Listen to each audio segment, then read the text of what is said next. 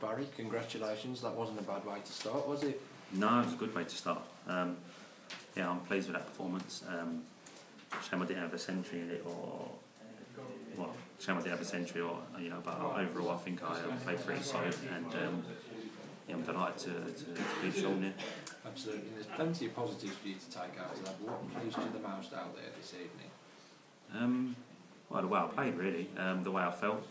Um, I felt pretty, pretty good most of the match.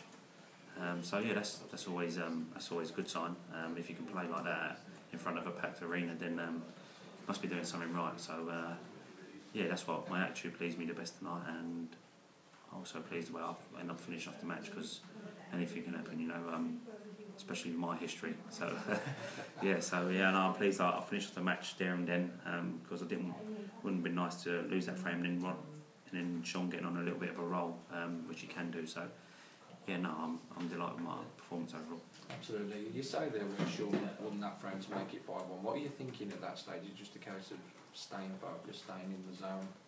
Yeah, no, I mean, I've had so many matches now over the years, you've just got to stay calm, haven't you? So you know you're going to get opportunities.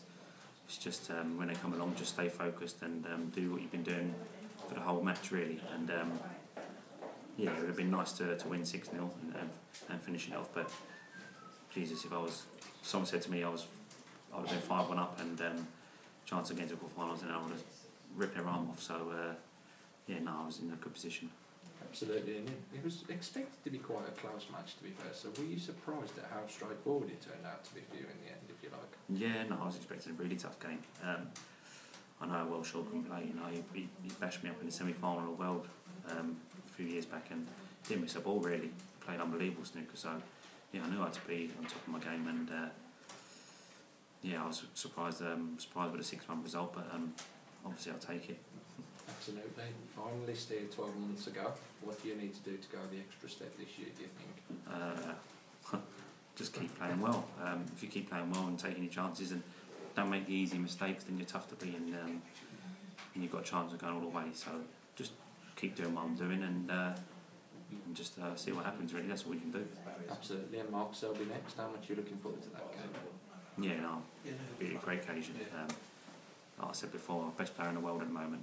Um, so yeah, he's so consistent, so tough. Um, world number one. So what more do I want really? Um, if I can't get off for that match, then um, yeah, there's no there's no point playing really. So yeah, no, I look forward to it, and hopefully I can uh, put in a good performance again.